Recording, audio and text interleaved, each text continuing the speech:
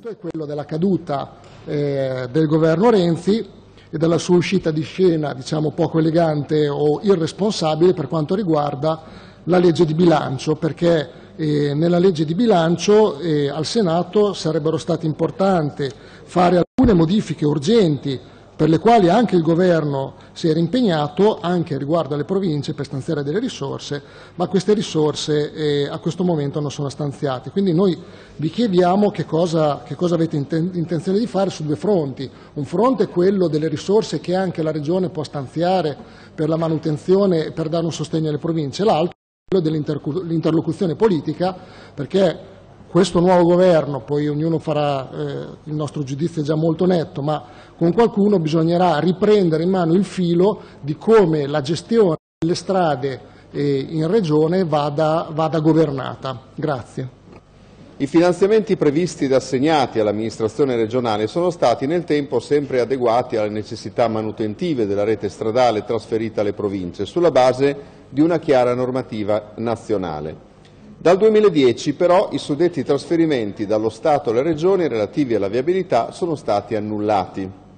Siamo quindi pienamente a conoscenza delle criticità presenti nella viabilità regionale e abbiamo un tavolo continuo con i territori, con il Governo e con ANAS per affrontare insieme la messa in sicurezza delle nostre strade. Sì, grazie Presidente, ringrazio l'assessore per i dati dettagliati, però nel bilancio 2017 mi sembra che i soldi per la manutenzione stradale siano usciti ieri da un emendamento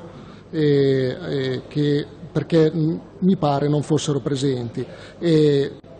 il tema è un tema importante perché oggi abbiamo parlato di, di, di, strade, ma sicuramente non possiamo poi dimenticare anche le scuole che sono rimaste in pancia e le province e quindi una riflessione va veramente fatta a tutti i livelli e l'invito che vi faccio è quello di farvi portavoce verso il, pro, il, il nuovo governo che non abbiamo capito se sarà uno yogurt o un latte a lunga conservazione, già a lunga conservazione potrebbe essere un titolo interessante come, come mandato di programma, potrebbe essere temo che sia così,